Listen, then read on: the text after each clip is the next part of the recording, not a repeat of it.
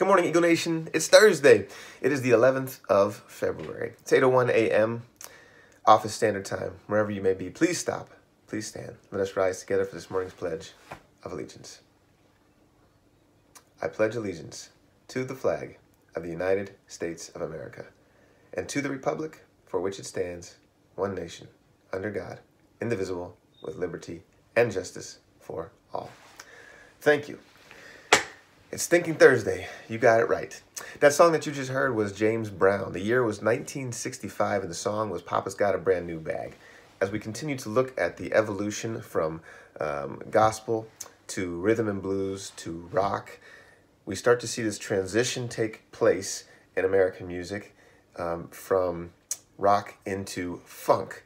And that was James Brown, who was an essential component of that transition to funk. So I hope you enjoyed that song. Also, as it's Thinking Thursday, sometimes when I get stuck or can't find something fresh to think about, I look to others. And so I thought today, in our continuation of our celebration of Black History Month, I would look to Lewis Latimer. Lewis Latimer, who in the late 1800s, 1870s or so, made a variety of inventions. You may have even heard or read before that he worked with Alexander Graham Bell um, on the first patent for his telephone. You may have also heard that he worked not initially against Thomas Edison and then later with Thomas Edison and was essential in producing the carbon filament, which made the light bulb function.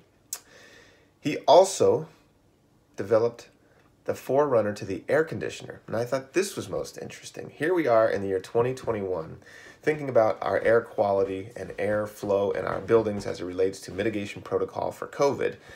And we have people like Lewis Latimer to thank from over 130 years ago because he created an air conditioner. It was called the apparatus for cooling and disinfecting.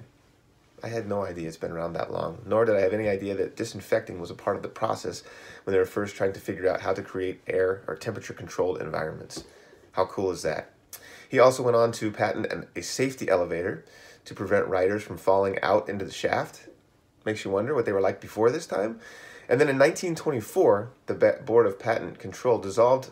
Um, after the Board of Patent Control dissolved, Latimer went on to work with Hammer and Schwartz until he retired. He also, in addition to all of this, Lewis Latimer was responsible for trans translating for Thomas Edison his patents into German and French.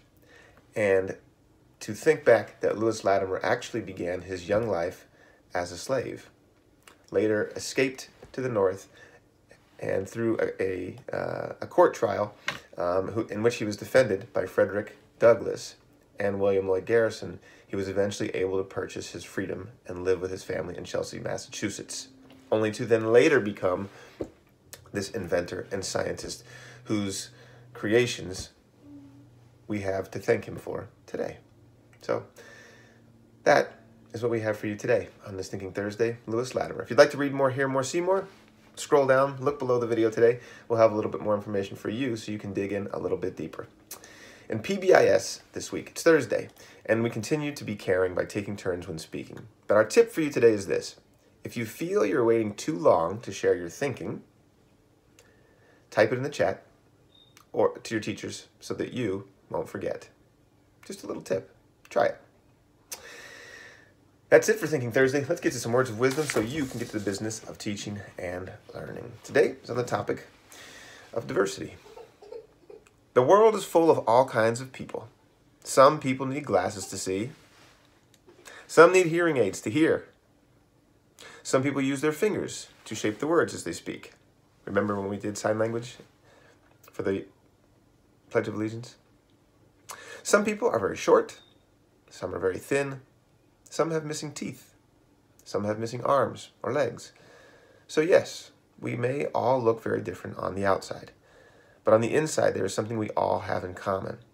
We all want to be loved just the way we are. No matter how different someone else looks to you, remember this.